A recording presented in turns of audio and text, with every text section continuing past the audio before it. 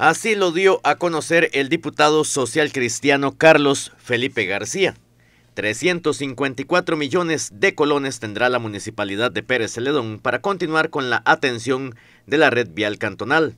Desde la Comisión de Asuntos Hacendarios, en el pasado mes de octubre y noviembre, logramos garantizar 9 mil millones para la atención de la red vial cantonal del país.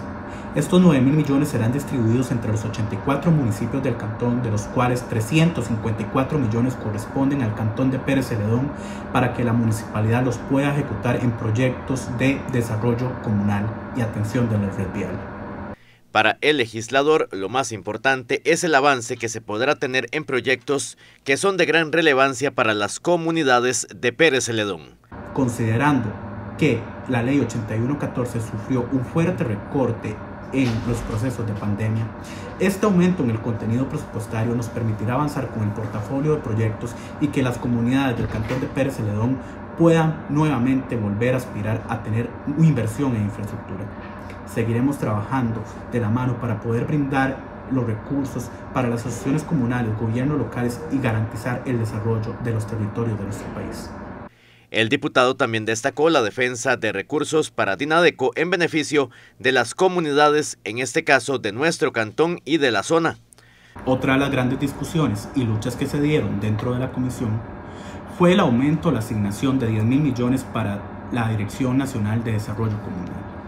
Estos 10 mil millones se distribuirán entre 5 mil millones para que INADECO pueda invertir, gestionar y ejecutar en torno al portafolio de proyectos que tiene atrasados y que en el corto plazo o mediano pueda abrir nuevamente su ventanilla para la atención de nuevos proyectos por parte de las organizaciones comunales. Todo esto busca que las comunidades cuenten con recursos frescos para avanzar en esos proyectos tan ansiados.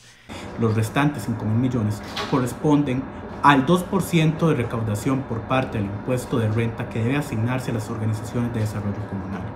En esa línea, esperamos que esos 5 mil millones sean distribuidos alrededor de todas las asociaciones de desarrollo de nuestro cantón para financiar sus actividades de funcionamiento y sus proyectos.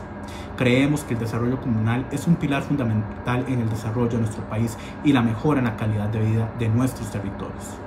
Por eso seguiremos trabajando y buscando garantizar la mayor cantidad de recursos para fortalecer el movimiento comunal.